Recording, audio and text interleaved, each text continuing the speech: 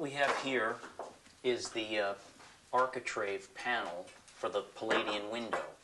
Uh, it's the top trim panel that goes around the uh, curved window at the top. And uh, it deteriorated badly. It's, it's original material, and through a process of shrinkage and dry rot on the back side of it, uh, it developed these huge cracks uh, between sections. And what we're doing basically is uh, filling those in with solid wood.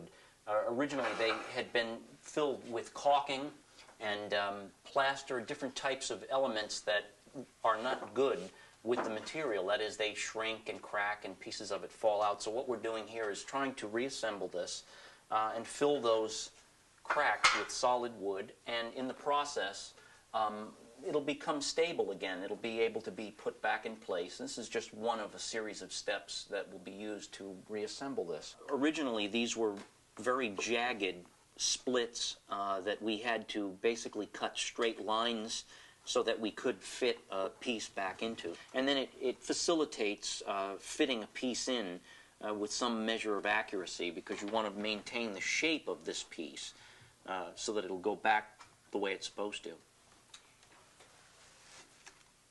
Okay.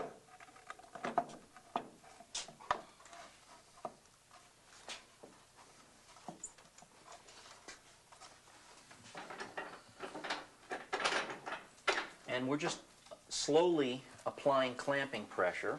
And we have to make sure that the uh, whole panel stays flat while we're doing this. It's not an easy process fitting odd-shaped pieces in and keeping the overall geometry the same.